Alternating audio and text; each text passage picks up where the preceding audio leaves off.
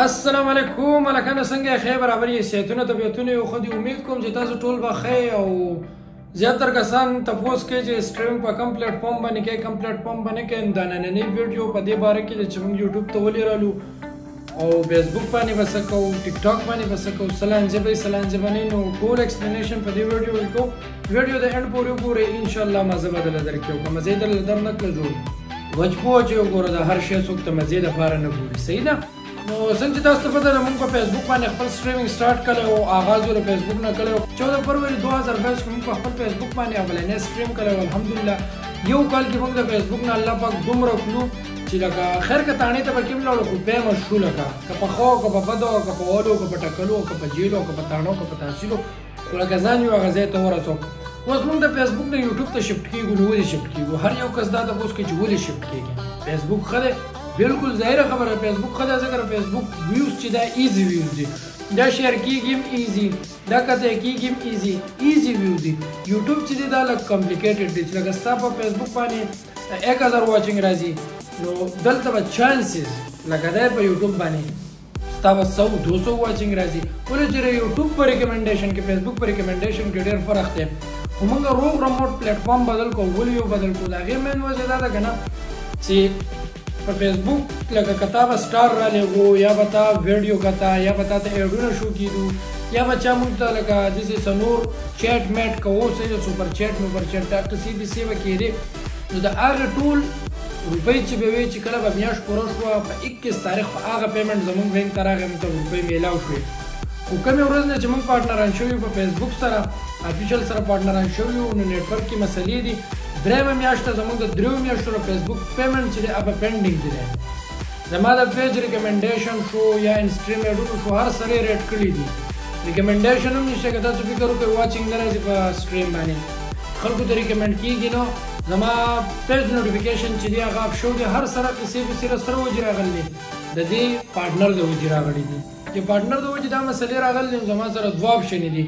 یا نوې پیج جوړ کم یا پلیټ فارم چینج کم نو کنه پیج جوړ کم د نوې پیج سره هم مسلې ځکه په پاکستان کې سټریم ایډونه نشتی په پاکستان کې انسټریمډ آن ډیماند نشته پل سبسکرپشن نشته پاکستان کې پاکستان کې صرف او صرف یو سٹار دی که سٹار چا راولې کو جو روپۍ برا شي که چا سٹار راولې کو جو خیر سلاله نو ما دا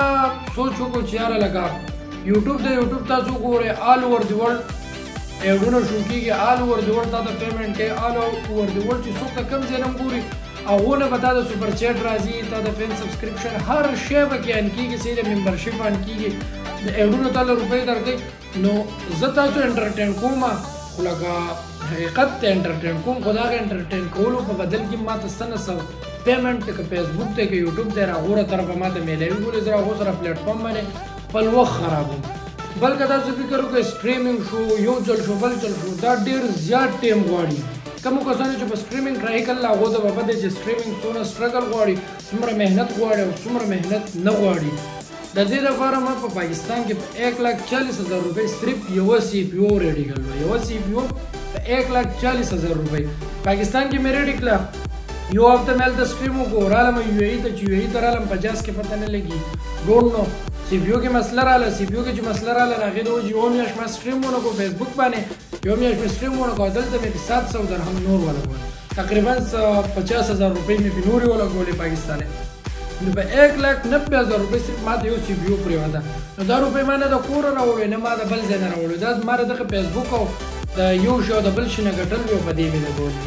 نو لکه امید کوم چې دروغ د تنه شامل چې اجو پلیټ فارم نو خو هغه دغه کته برنه مسله دا قره چې زماره درو میاشتو پیمنټ د نیټورک سره پروت دی هغوی نه راکوي نه ریلیز کوي ماته دوه اپشن دی یا بل پیج جوړ کړه یا پلیټ فارم چینج کا ما پلیټ فارم چینج کو پلیټ فارم څنګه چینج کو دا ما د پاکستان کې نه دی پیدا شتي یو ای کې پیدا شته بل ځای کې پیدا شته بل ځای کې پیدا شته پیجز پیدا نشته پیج چې په پاکستان کې ما چلو دا غیر ریکمنډیشن هر سره په پاکستان کې پاتې شو